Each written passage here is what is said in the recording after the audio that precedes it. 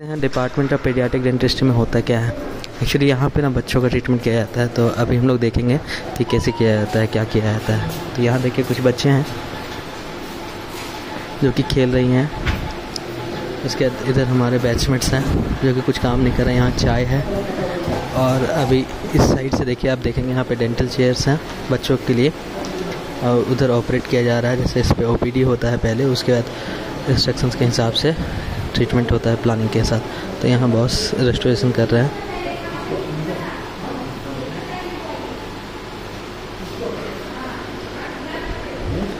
इधर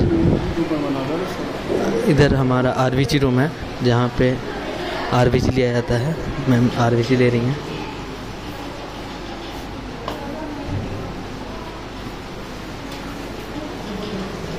आर के बाद इधर हमारा यूजी सेक्शन है।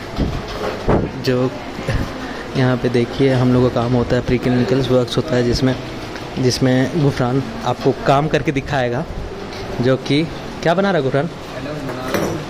तो चलिए एडम्स देख लेते कैसे बनता है। ये देख लीजिए।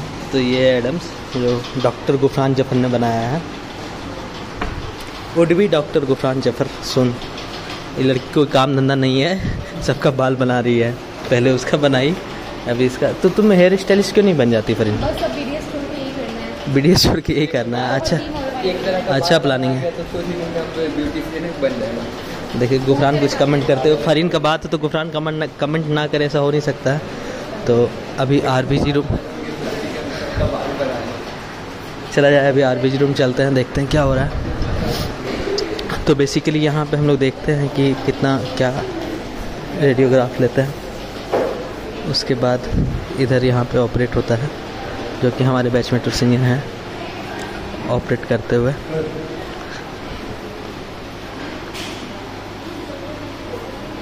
डॉक्टर राज